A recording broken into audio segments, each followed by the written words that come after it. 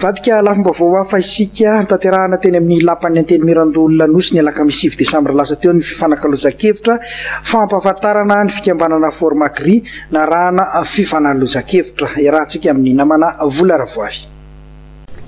Manana andraikitra amin'ny fampandrosoana ny tontolo ambanivohitra ny fikambanana Formagri. Anisan'ny asa tanterahan'ny fikambanana ny fampiofanana ireo tantsaha. ary nangatahan'ity fikambanana ity ny hamerenana ny Université Paysanne. Novelabelarina teto ihany koa ireo olana sedrain'ireo tantsaha toy ny tsy fahampian'ny fiofanana eo amin'ny sehatry ny fambolena, ny tsy fahampian'ny vola ho fanohanana azy ireo, ny olan'ny fananan-tany, ny olana amin'ny famoahana sy famarotam-bokatra ary ny voka-dratsy ateraky ny fiovaovan'ny toetry ny andro. Fikambanan'ireo rafitra vovonana no niteraka ny atao hoe format gris satria nahatsapa ireo rafitra vovonana ireo fa tena ilaina ny manana mpitarika tantsaha voaofana ary afaka tena misolo tena ny tantsaha amin'ny rafitra rehetrarehetra izay misy anazy. Matetika moa dia tsangan'olona na mpameno fiche de présence izay no tena zava-dehibe hatramin'izay fa ankehitriny izany dia mijoro izy ireo hitondra ny tena tenin'ny tantsaha ary hiady ny ny tombotsoa ho an'ny tantsaha rehetra izany eran'ny Madagasikara.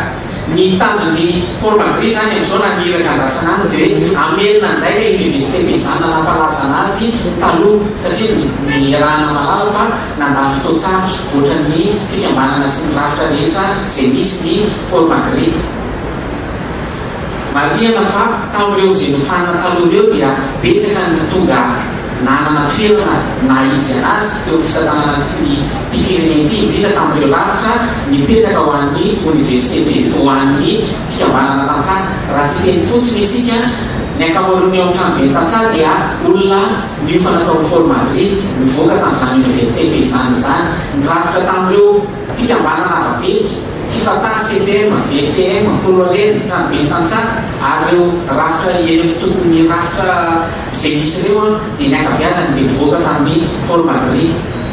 Ny mpampakateny jeneralin'ny Antenimierandoholona, Raymond Rasolondratsimba, dia nanambara ny tokony hampiakarana ny tetibola natokana ho an'ny minisiteran'ny Fambolena sy ny Fiompiana. Raha te hampandroso ny firenena, hoy izy, dia mila tohanana ny tontolo ambanivohitra amin'ny alalan'ny fanampiana ireo tantsaha.